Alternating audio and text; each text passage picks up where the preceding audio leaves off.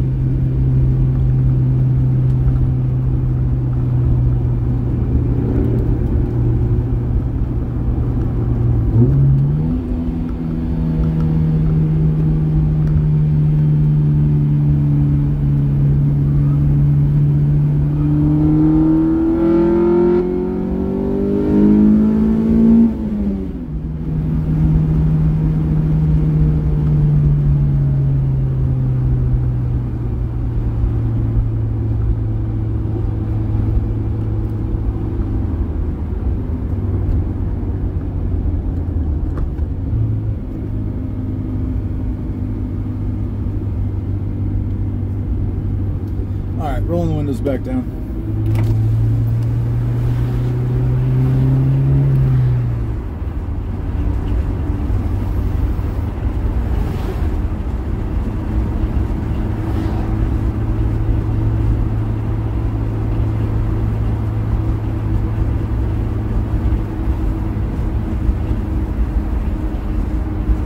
So that stretch was from Stove Prairie Road and the intersection of Highway 14, I think,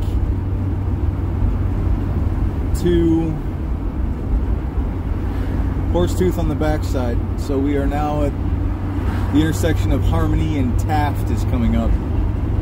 I swear to God, that's some of the best driving I have ever been involved with in my entire life. Maybe I'm just like sheltered or whatever, but I mean, that's 23 minutes, 25 minutes each way.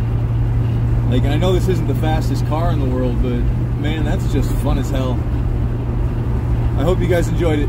Cheers.